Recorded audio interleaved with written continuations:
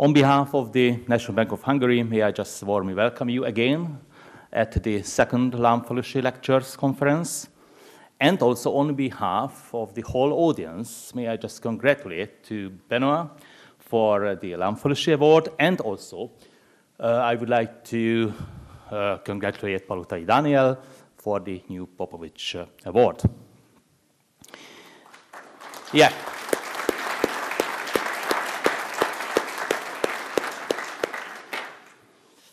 Um, also, thank you, uh, Benoit, for the title of the conference. Yes, we badly need a new narrative for Europe.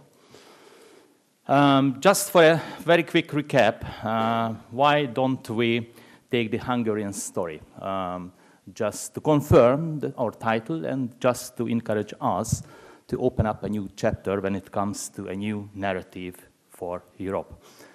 Um, in 2010, the new Hungarian government had to face uh, a dilemma, how to manage the crisis. Um, there were, of course, traditional and unconventional, orthodox and unorthodox uh, choices. It was clear cut just at the beginning that uh, using only orthodox and conventional measures might result in a failure due to the fact that um, a successful crisis management um, badly needs at least three intertwined elements. Firstly, structural reforms. In the lack of structural reforms, we can get nowhere. Secondly, we badly need, at that time, uh, that was uh, again clear cut, and it is clear cut at present in the European Union as well. Uh, secondly, we badly need new jobs. In the lack of new jobs, in the lack of creating new jobs, and in the lack of uh, uh, saving present jobs, we can get nowhere because we need the third element, political stability. Without political stability, we can't complete structural reforms.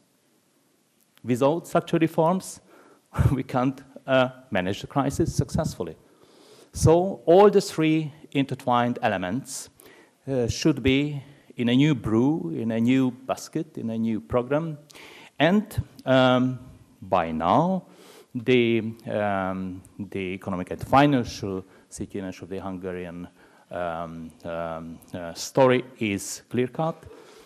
It's promising. All the macroeconomic figures are promising and encouraging due to the fact that we were forced to find our new narrative even in 2010.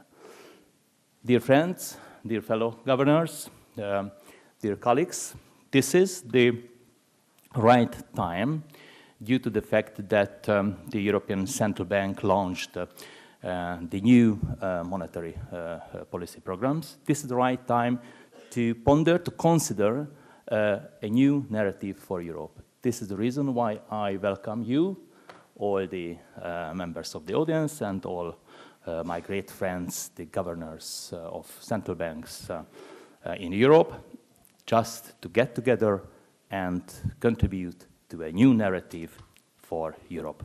Thank you.